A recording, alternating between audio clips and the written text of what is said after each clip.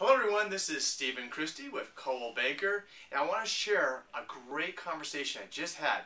We had a conference call with some of the best agents around the world, and what we do once in a while is we brainstorm. We talk about what's the best thing we can do for our clients. And, you know, what's funny is what is a great agent that we brought up, and what is an agent that actually wants to get by?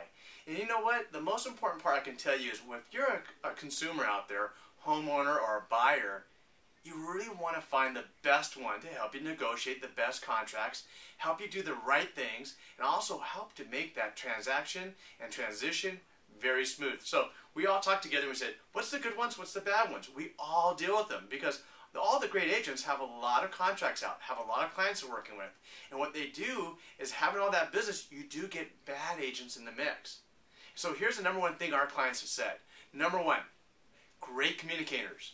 You know, the top agents are really good communicators. You know, they're always said that they have a great team, but one thing you know about the top agent, they're always going to communicate with you directly. Number two, the ability to, to negotiate the contract well for you.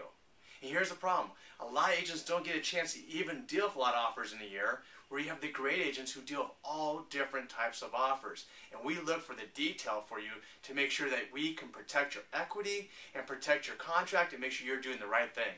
Now, Number three, how do we relate with you on each and everyday basis? Do we have the systems involved to make sure that everything works for you on the time frame that you want it to and the follow-up that you need?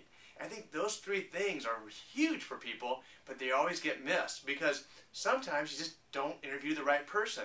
Sometimes you're thinking other things are more important than the real important things of your exposure and the things that we can do for you to make everything great. So, that's what I'm going to share with you today, but there's going to be more information on our blog. Go to my website at www.cghomes.com. This is Stephen Christie Coldwell Banker. I look forward to our next talk.